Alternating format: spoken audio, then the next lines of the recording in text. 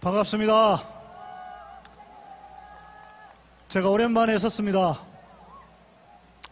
날이 추워서 그런지 에, 여러분들이 많이 움츠려 계시는 것 같은데 크게 외쳐주시면 고맙겠습니다. 우리는 지금 대한민국에서 가장 저질스러운 자들에게 지배당하고 있습니다. 절망의 시대입니다. 희망이 보이지 않아 암담하기만 합니다. 그러나, 그러나 여러분, 거짓이 진실을 누르고 악이 선을 이기는 이런 더러운 세상을 우리 후손들에게 물려줘도 괜찮겠습니까? 우리는 사람입니다. 우리는 사람입니다. 그런데 왜 우리가 개돼지 취급을 당해야 합니까? 저는 견딜 수 없습니다. 여러분은 견딜 수 있습니까?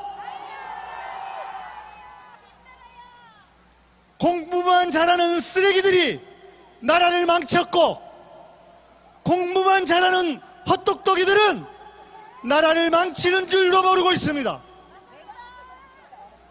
엘리트의 시대가 끝났습니다. 이제 깨어있는 시민들이 연대하는 시대입니다. 우리가 연대할 때만이 우리에게 힘이 생깁니다. 그래서 우리는 함께 연대해야만 합니다. 대통령이라는 작자가 대놓고 국어가 재미없다고 말합니다. 국어 교육이 필요 없다고 말합니다. 그래서 지금까지 그렇게 개소리만 해야 됐나 봅니다. 촛불이 마치 간첩과 연결된 것, 연결된 것처럼 가짜 뉴스, 가짜 뉴스를 퍼뜨립니다. 해묵은 이념 장사로 재미를 보고 싶은가 봅니다. 우리가 간첩입니까? 우리가 간첩이면 너는 일본 놈이야!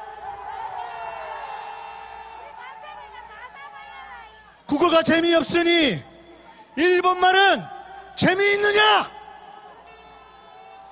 그래서 나라를 말아먹고 전쟁을 일으켜 망해가는 일본에게 나라를 갖다 받고 싶- 갖다 바치고 싶은 것이냐? 너 혹시 장씨 개명이라도 하고 싶은 것이냐? 에라이!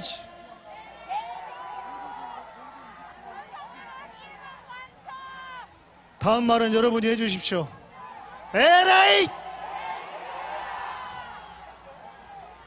윤석열은 핵이 장난인가 봅니다. 이 인간은 핵이 얼마나 좋은지 윤핵관하고만 놀고 있습니다. 대통령은 국가를 수호하고 평화를 유지해야 할 의무가 있습니다. 전쟁 노름이나 하려는 대통령은 이미 탄핵감입니다. 아직도 12구 이태원 참사의 진상은 밝히지도 않고 오히려 검찰 독재 국가를 만들고 있습니다. 군부 독재도 이긴 우리입니다. 검찰 나부랭이들에게 당해서 되겠습니까? 검찰 독재 다 도와줘! 윤석열은 퇴진하라! 야당 의원 나리들께 한 말씀 드립니다. 우리 시민들이 불쌍하지도 않습니까? 촛불 시민들이 안쓰럽지도 않습니까? 이렇게 다시 차가운 아스팔트 바닥에 앉아 외치는 우리가 안타깝지도 않습니까? 이게 뭡니까? 나라 좀 바꿔달라고 전무후무한 의석을 주었더니 그것을 깔고 앉아서 자기들 먹고 살 궁리만 하고 있습니다. 검찰이 그렇게 무섭습니까? 얼마나 해쳐드셨길래 꿀먹은 벙- 벙어리 마냥 입을 다물고 있습니까? 아, 입을 벌리는 몇 사람들이 있습니다. 당대표 잡아가라고.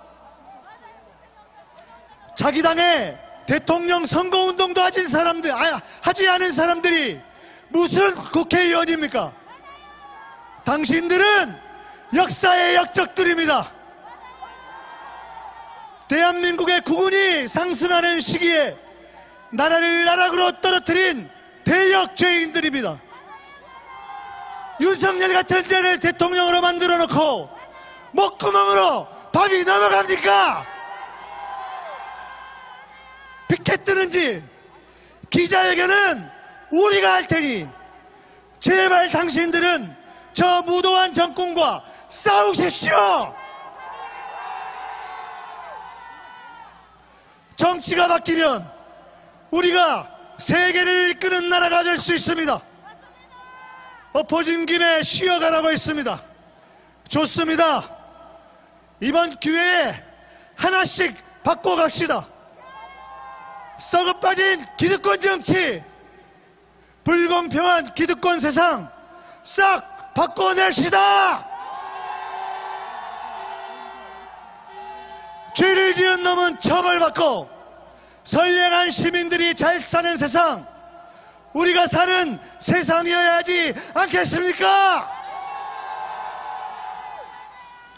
함께 잘 사는 세상 모두가 먹는 거 입는 거 걱정 안 하고 더럽고 안 입고 온 꼬라지 좀 안 보고 그래서 하루하루가 신명나게 이어지는 세상 그런 세상 함께 만들어 갑시다! 부끄럽지만 저는 대학 때 돌 한 번도 안 던진 사람입니다. 돌 던지는 대신 기도하자는 학교였기 때문입니다. 그래서 저에게는 아직 힘이 많이 남아 있습니다. 지치지 않을 것입니다. 여러분은 지치십니까? 나라를 구하다 목숨을 잃은 선조들도 있습니다. 이것이 뭐 대수입니까? 우리 국민은 취미가 국난 극복이고 특기가 탄핵인 나라 아닙니까? 박근혜 퇴진은 예행 연습이었습니다. 범표는 이제 진짜 시작입니다. 함께 해 주시겠습니까? 지난 10개월도 길었는데 올해도 너무 깁니다. 올해 넘기지 맙시다. 상반기 안에 반드시 윤석열 퇴진시킵시다. 검찰 독재 타도하자 윤석열은 퇴진하라.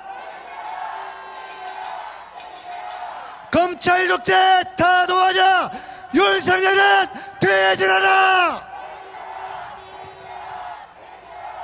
검찰 독재 타도하자 윤석열은 퇴진하라!